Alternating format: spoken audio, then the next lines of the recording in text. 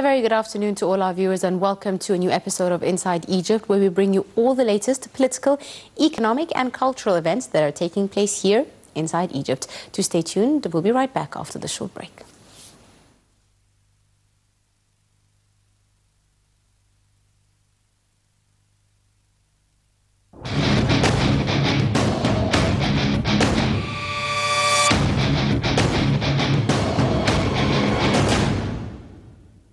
Back President Abdel Fattah el-Sisi held a joint press conference with the visiting Djibouti President Omar Ismail Guelleh at the presidential headquarters in Cairo on Monday. President el-Sisi said the talks covered various fields. He said that deals and memorandums of understanding signed reflect the keenness on mutual cooperation.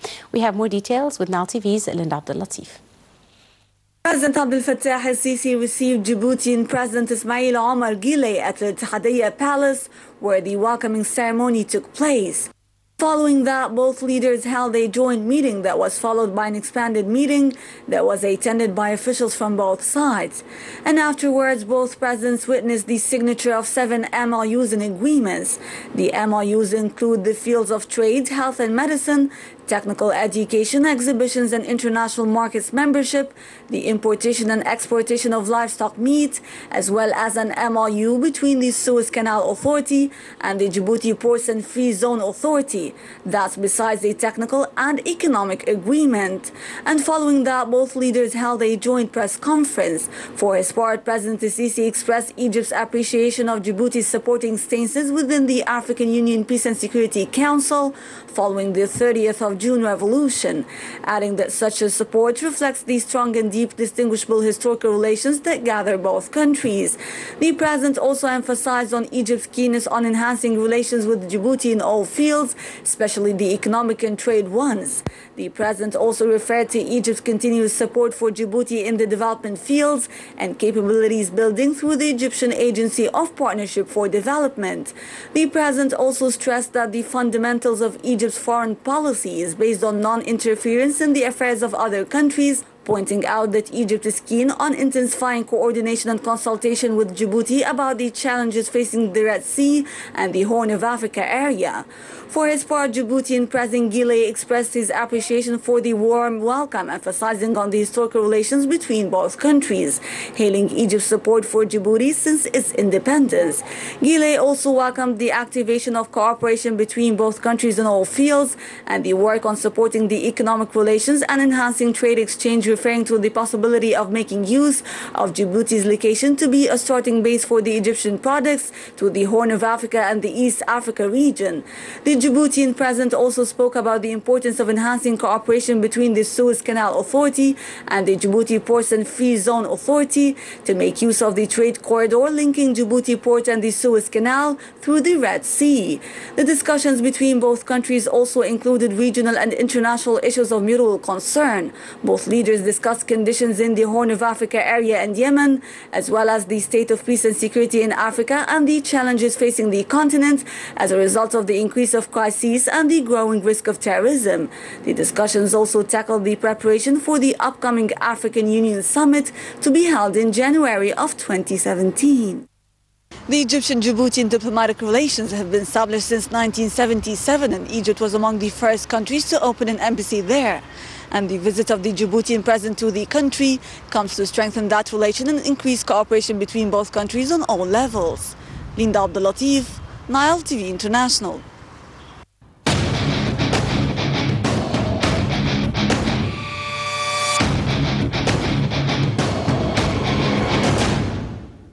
Prime Minister Sharif Ismail chaired on Monday a meeting of the Economic Ministerial Committee. The meeting was attended by the Ministers of Planning, Electricity, Transportation, Public Business Sector and the head of the Central Authority of Public Mobilization and Statistics. The meeting tackled a number of economic files related to the economic reform program, which is being adopted by the government. The meeting also tackled means of enhancing the government's economic performance through increasing growth rate and production and reducing the budget deficit, as well as creating an attractive atmosphere for investments. We have the details. Prime Minister Sharif Ismail stressed on Monday that coordination between the government and central bank in terms of monetary and fiscal policies succeeded to provide foreign exchange to provide local market with essential commodities, petroleum products, as well as medicine in suitable prices and direct them sectors with priority to maintain social stability. In a press statement, the Prime Minister said that coordination between the government and the central bank aims to strengthen financial and monetary stability in order to increase rates of economic development and achieve prices stability in the market. The Prime Minister added that coordination also aims to provide necessary funds for production requirements and raw materials in order to push forward industrial growth. Also Monday, Prime Minister Sharif Ismail headed the Economic Group Ministerial Meeting. The meeting tackled prices file and the availability of supply goods to citizens, the recent developments in the monetary markets, as well as the economic and financial situations. The meeting also discussed maintaining prices of main food commodities and providing all necessary necessary funds in order to provide protection for low-income people. The ministers also discussed proposals to promote the national product as it contributes in reducing the import bill and also to ease the pressure on hard currency.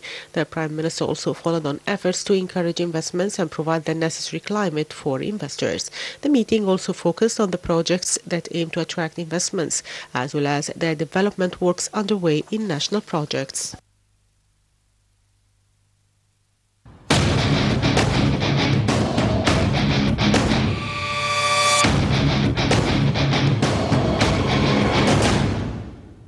The Minister of Finance said in a statement that Egypt is to aim for a 5% economic growth rate in the 2017-18 budget. The statement added the ministry will focus on economic policies and support productive sectors as industrial activity, investment and increasing exports. We have the details.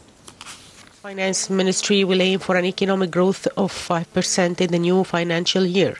According to details from its outline 2017-2018 budget, the ministry said that it hopes to reduce the budget deficit to 9.5% of gross domestic product, the GDP, and the total public debt to 94%. Egypt's total public debt amounts to 2.6 trillion Egyptian pounds or 94.5% of their GDP, according to the central bank's data. The budget will also aim for an unemployment rate of 11%, down from the current 12.6%. According to the statement, the targeted growth rate will be achieved through adopting a range of economic policies, including support for productive sectors such as industrial activity, investment, and increasing exports. The focus on national mega projects will likewise continue with growth in mind. In 2014, Egypt embarked on a plan to introduce a number of fiscal reforms, including fuel subsidy cuts as well as imposing new taxes to ease the growing budget deficit. In early November, Egypt's central bank decided to freely liberalize the pound and raise key interest rates as part of a set of reforms aimed at alleviating a dollar shortage and establishing the country's economy. Egypt's economic growth rate registered 4.3% of GDP in the fiscal year 2015-2016, down from 4.4% in the previous fiscal year.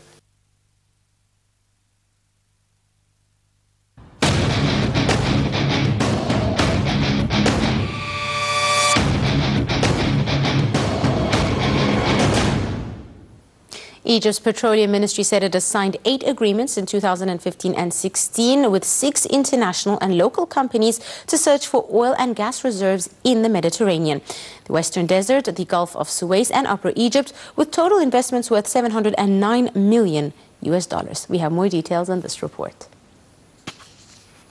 Petroleum Ministry said that it signed in 2015-2016 eight agreements with six international and local companies to search for oil and gas reserves in the Mediterranean, the Western Desert, the Gulf of Suez, and Upper Egypt with total investments worth $709 million. The ministry said in a statement that the agreements also include drilling 33 new energy wells. The ministry also highlighted that it has succeeded in increasing the natural gas production per day to around 4.45 billion cubic feet of gas by accelerating the search for natural gas reserves in the Mediterranean. In early December, Egypt announced that it accepted investment offers in oil and gas drilling and exploration worth $200 million from companies. According to a statement, the consumption of petroleum and gas products at international prices during 2015-2016 fiscal year registered 279 billion Egyptian pounds, while the cost of providing the fuel to consumers reached 181 billion Egyptian pounds. The revenue of the subsidized products in the local market amounted to 130 billion Egyptian pounds, while the subsidies of the petroleum and gas products cost 51 billion Egyptian pounds. In early November, following the liberalization of the Egyptian pound, the Petroleum Ministry announced further cuts to fuel subsidies. The move came as part of the government's plan to slash its total subsidy bill in the new budget by 14% to reach 130.1 billion Egyptian pounds in the 2016-2017 fiscal year.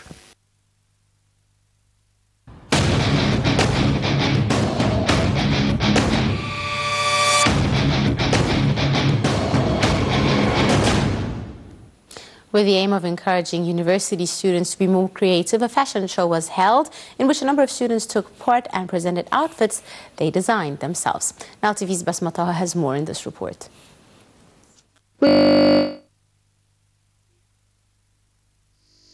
To encourage students to be creative, a fashion show was held in which a number of Egyptian and African students at Faculty of Mass Communication took part. They showed a number of clothes that they designed themselves. They said they are really excited because of such a lovely experience. Well, this is a class I'm teaching about fashion show. It's interior design and fashion show. My part is the fashion show.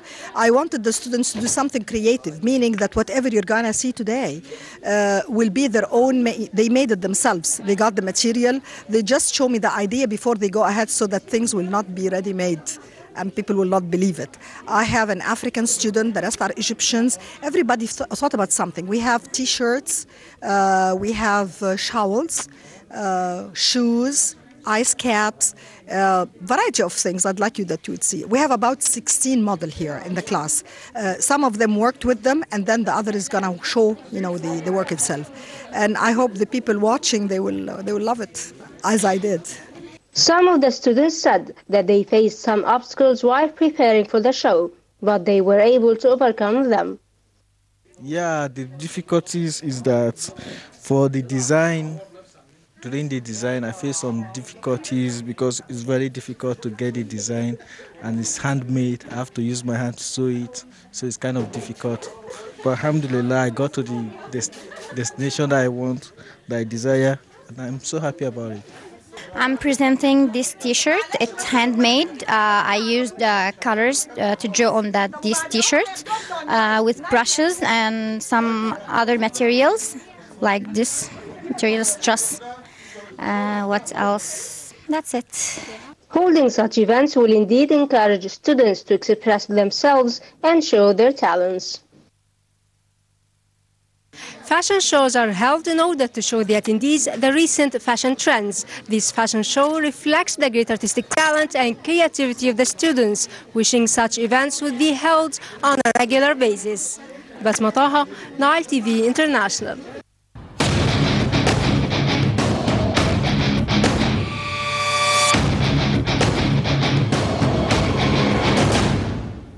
Ladies and gentlemen, we now take a look at the Tourism Magazine, which brings us all the latest uh, exciting and attractive destinations here in Egypt to be visited by all our tourists. Sabine Mitwali has more.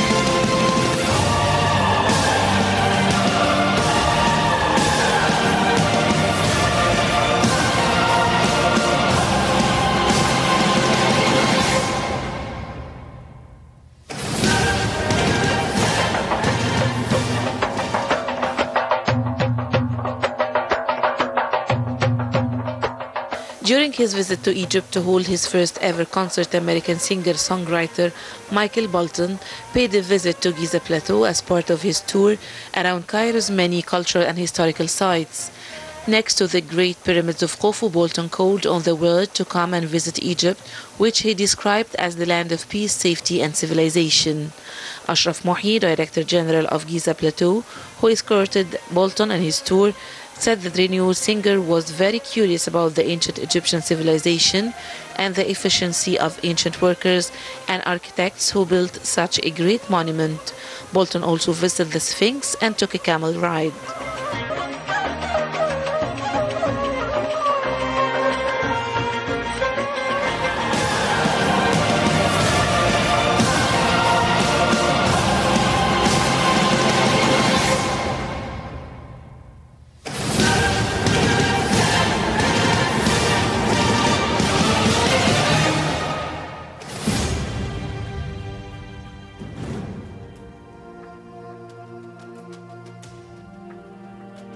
Egypt's Antiquities Ministry signed a soft loan agreement with the Japan International Cooperation Agency on Monday in an attempt to continue the construction work of the Grand Egyptian Museum or the GEM.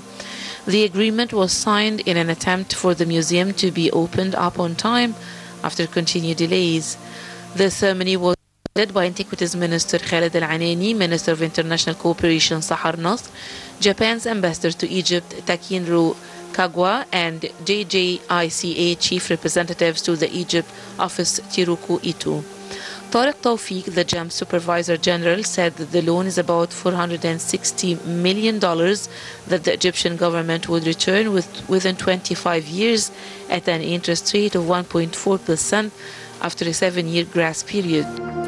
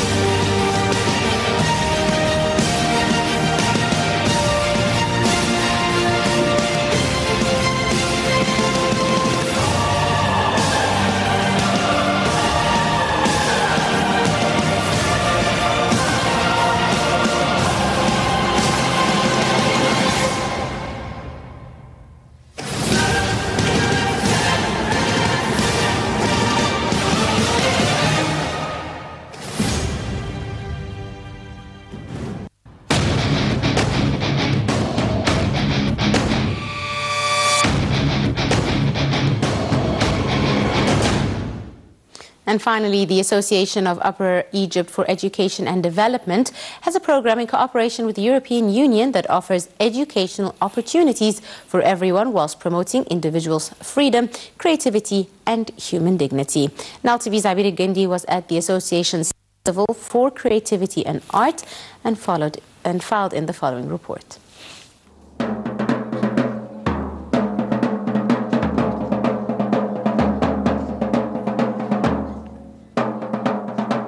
The European Union is cooperating with the Association of Upper Egypt for Education and Development to fund an arts program for youth.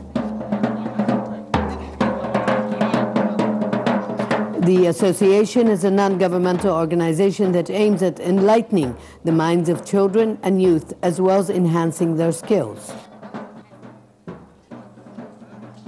The EU selected Upper Egypt for their funded program going on for the last two years so as to support the access and participation of 13 disadvantaged communities as a means of cultural and arts expression. I think it's a very peaceful mean of expressing what you have on your mind, of expressing who you are, what you believe in.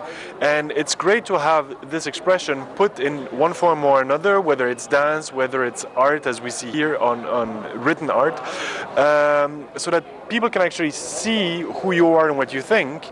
And then you can open up a dialogue on this particular point. The association goes back to 75 years of civil work and education.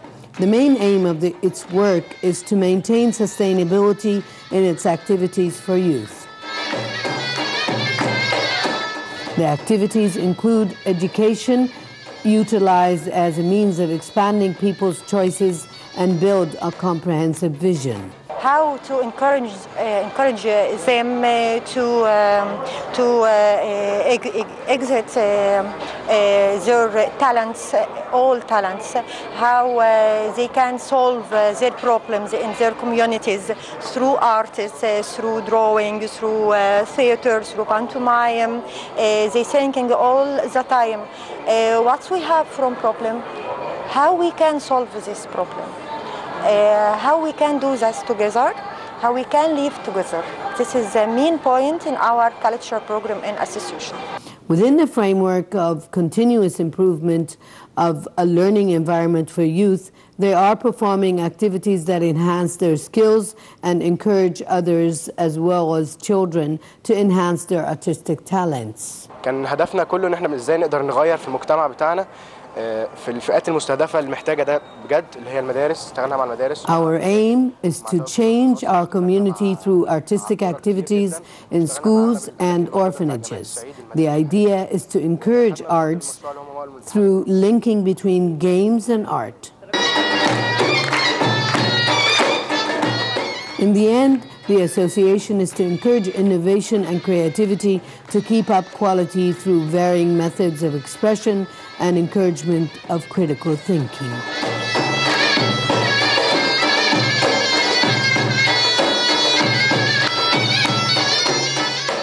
The Creativity and Arts Festival asserts the fact that youth are combating terrorism through their expression of various arts. This is Abida Gindi, Nile TV International, Cairo.